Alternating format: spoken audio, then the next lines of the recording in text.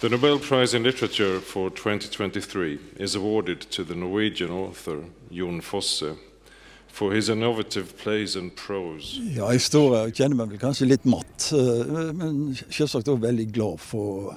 Og nei, høyere nobelprisen, det, det, det kommer du ikke. Så, Så ser vi- alt, alt blir nedturer heretter. Ja. Han ligger punktet i slutt for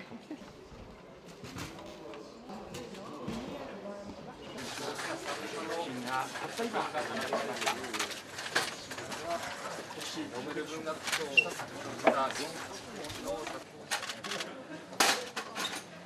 候補者として名前が上がっている中には名前があったので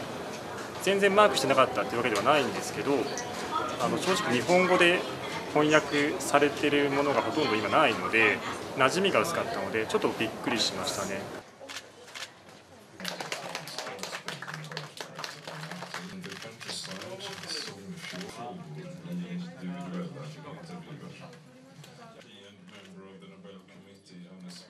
もしかしたら今年こそ村上さんが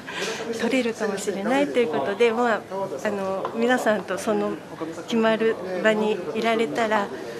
嬉しいなと思って楽しみにしてきました。